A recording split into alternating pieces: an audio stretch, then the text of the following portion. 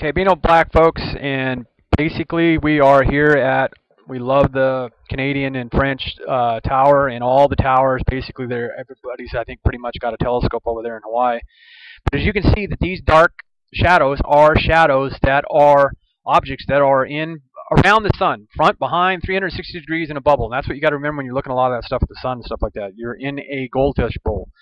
Earth is in a goldfish bowl. We are in space. We are in the universes. We are in the solar system. Okay, so these shadows, they always uh, are there, and then they disappear because the sun goes down, and they're not shadowed anymore. They're not shadows anymore of, and then, yes, we know that they're not bright stars. They are actually more than likely planets, dead stars, because the idea that they're not showing up bright on the constellation map. Now, I could be wrong. You go back and check them. Now, what I'm not wrong about is the idea that that's not no flipping satellite, and that's not no flipping stars. That's not no planes going by. And all you do is watch your clock, and they've got it slowed down. And I think the Canadian and French guys like it. Now, there are certain planes on the very low horizon, okay, ladies and gentlemen, but planes don't get up that fast. And yes, we have military planes that can get maybe a tenth of the fast of what we see those asteroids, stars, close objects, uh, maybe very, very, very low satellites that we've got. But as you watch the minutes, that's the hour. The 20 is the hour. Or on the 20th hour. Those are minutes that go by. Planes don't go take off that damn fast. Now, I do agree that the idea that more than likely that was a plane that was down there, okay, that was moving slower, okay? But when we see all that, those are not flipping airplanes. Too flipping fast. No, they're not flipping UFOs either. Okay? So, we can back this up again real fast. There's the shadows, because those are planets and or stars that are in front of the sun, objects, material, and as they disappear. And as you can see that there is quite a large amount of them. Okay? i.e. the old NASA footage from the all the Apollo missions. Where were the flipping stars at? That's correct. Uh, just Cold War stuff, basically all that amounts to. That's simple explanation and over with right there, done and over with. Okay, I'm not even going to harp on it anymore. I, I never really harped on it. I just basically thrown actual factual data and truth out there to people that you can see. Now, yeah, that more than likely is an aeroplane way down low underneath those clouds as that came across. Now, do we have, and I don't care, do we have new radar?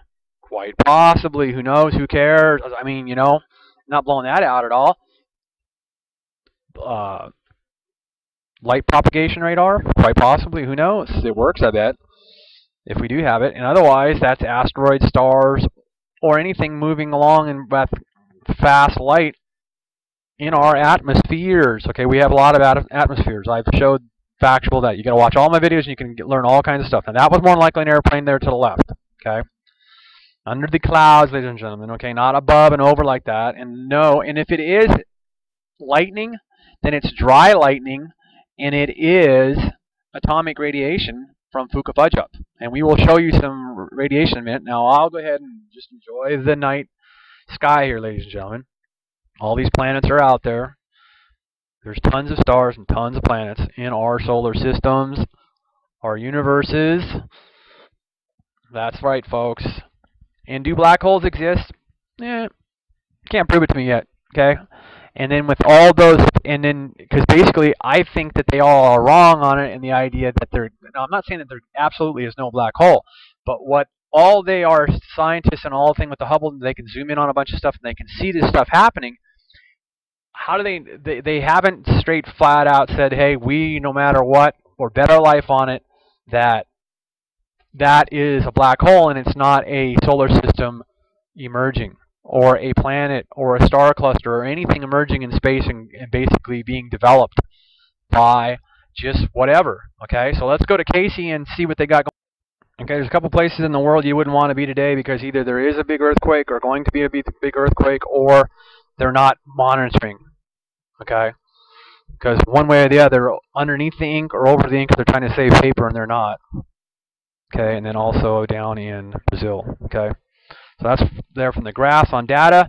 And we're going to basically, I might as well just throw you ahead and show you the Liars Club here and the Truthers Club. Because you'll see the cities to the right. and they finally updated on our backup because we have January's. And we'll just slowly scroll through here. Start out in San Bernardino. Remember, 130 CPM. This is all CPM RADS beta. This blue graph. So there are certain places that it's pretty decent, and there's places that lie and don't tell you where, what's going on, and then there is places that lie and don't tell you what's going on, and there's places that might have the volume turned down too. You just don't know. But there's places that are honest, and Fort Smith, Arkansas, and Little Rock, Arkansas. So there's big differences. So the idea that more than likely the theory and actual fact that radioactivity does appropriate to radioactivity. Okay, Fort Smith, Arkansas, more than likely atomic bombs in planes. Not for sure, but there looks somebody made a mistake a long time ago. Okay, a lot of people made a mistake, and they're not here no more. And here we go with basically just sharing truth and data, what's going on there, and then either not lying or being untruthful, and then you get that. Now remember, 130 CPM used to be rated, and you can go look government regulations and so forth, you know, safe working conditions, okay, so forth and so on, and then they used to want you 130, okay, and there, wow, Bakersfield, love you for actually finally showing what's going on in the world. I guess they seen that the idea, you know, the rest of the countries all in the world's all screwed up. We might as well show the truth because they were playing for a long time. So there you go. Bakersfield makes the news. Hello, Bakersfield. Uh, there you go, and there you go. And Fresno gets up and joins the Truther Club. Okay, and there you go, and there you go. LA's Truthering for a long time They've been shown. And yes, folks, that's January, whatever, 20-something over there to the right. Okay, so these are back up to current. They had it cut off at like June, okay? So I guess a bunch of mothers, this, that, or whatever. And uh, ladies, thank you, because the idea that there had to be a bunch of people bitching somewhere. And not just, and I'm sure there was men that bitched too, okay? So everybody. Uh, so that the idea, and then you can see some people will have the, certain excuses, okay? And then well, Colorado, bitch and moan that you want yours back up, working there. Denver's working, okay? So that shows some truth. And then uh, Grand Junction decides they don't want to. Hartford decides it's time to quit showing something. And then uh, there have been certain assholes on the internet that have screwed up the idea of the volume on there no more. Okay, but you can see the truth here in this here, and it wasn't uh, you know those assholes that did that. It wasn't assholes. They were basically sharing you truthful data, ladies and gentlemen. And then someone with power decided to say, you know, don't show the volume anymore and start cheating the volume. And they did. And it's never going to be forgotten. There's plenty of Americans that seen it, plenty of world people that seen it. And the internet is still linked up and a lot of stuff has been shared out there, okay? So a lot of places still showing, telling the truth, not hiding nothing. So and then we just keep on scrolling down here and you can always freeze this whole movie and, and get a look uh, if I I don't really have no apologies. Just throw the data out there and share it as fast as we can and this is all updated pretty much. And there is the website on top so you can go ahead and go to that website. Please don't overwhelm it. Try to keep it hush hush. I would make sure that you don't have any sharing capabilities out there at all and make sure that you only allow certain assholes in to see certain things at certain times that you want them to see okay? Because that's what I do, and then I slam the door shut. Okay? So, anyway, there we go to some, and this doesn't change too often, and then pretty much the last video before this when you want to go watch it, and you go watch all my last half dozen, dozen, basically you got to get around to watching all my videos, and the video just before this one, uh, basically, there you go. Mercury and Venus should have been the only objects in it, and I'll try to share my videos. Basically, just go to the last, you go to my homepage, and you will see the videos. Casey Station's not going to disappoint us. They're going to show us some real actual factual data again, ladies and gentlemen. You see the clocks and everything moving around, and this is the 25th.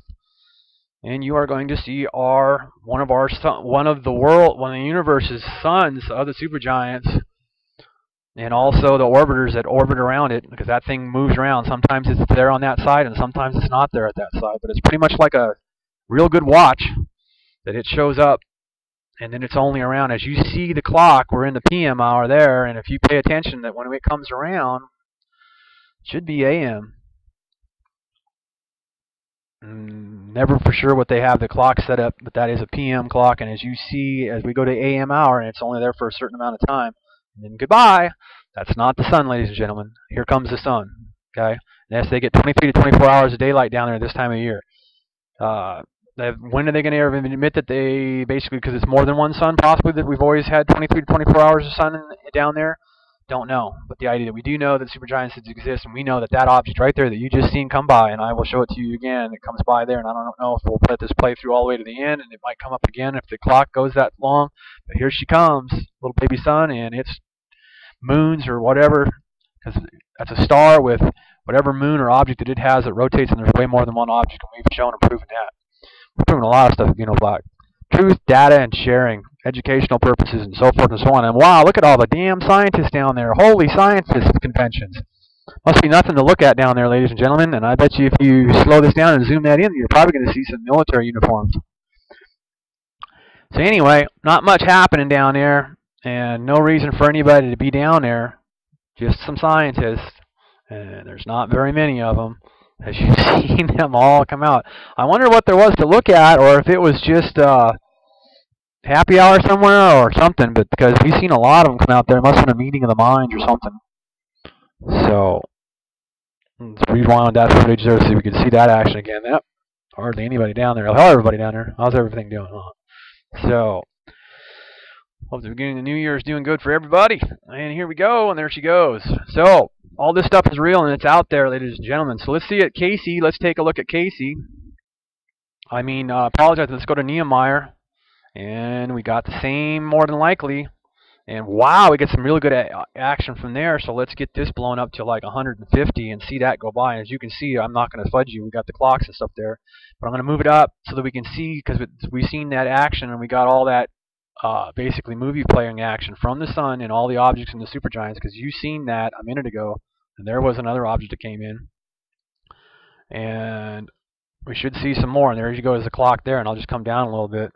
Yep that's a snow groomer going out there. And if you freeze this you will see objects in the sky that come by when our friend from there in space you see the rotating around and how it moves around and there you go those those uh, holograms that we get from that, and I think I can just go ahead and go up here and I'll back up real fast and I'll be able to get back to that. And as you've seen that there at the very end there, that that came back around, that rotates around. There's a lot of stuff that rotates around those suns of the supergiants or whatever they are that have fallen out of the supergiants main sequence. And or the sun, basically, we know that for a fact, is in. And there you go. There is your objects. Back and forth, bam, bam, bam. And they look like birds, folks, and they're not. Those are holograms from remnants from the sun and the supergiants, folks. And as you can see, the hour clock there, that is UTC time, and that's a just before the AM 1 hour, 23 in the evening. So that's not the sun, and there's your remnants. And as you see, there's almost like three of them, and those are not birds, folks. And yes, they might try to propagate stuff to make stuff look like certain things, maybe. Not sure, but those are remnants, folks. Holograms down here at Earth, black light, okay?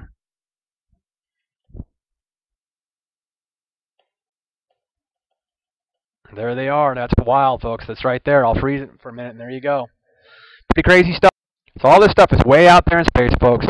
Sends holograms down here to Earth. Uh, they are probably picking up asteroids. They've been mining asteroids. NASA has showed that. And then basically you just see this thing come up. And then you can see the hour clock there, 2100. It's coming up at night down there. And if you start watching this, you might find more than one of the suns. And as you see, it goes back and forth. This is way down in Antarctica on our south pole. And it goes, almost seems like it goes north and south. And then it has that orbiters that go around it. And you've seen those remnants a minute ago. So that stuff, and as you've seen it, it kind of popped there, and then it goes and rotates around it. So even more factual proof, folks, and I don't ever play with the pictures, as we are backing up, and we should get those remnants in again before the time clock goes away. And there they go. There they were again, and there they are. Okay? That stuff is all real, and it is showing up Earth down in Antarctica. And it's privately, freely sharing, and legally being able to do it. Otherwise, they wouldn't be able to have their network work in the United States on the Internet. You see, you have Software agreements help everybody.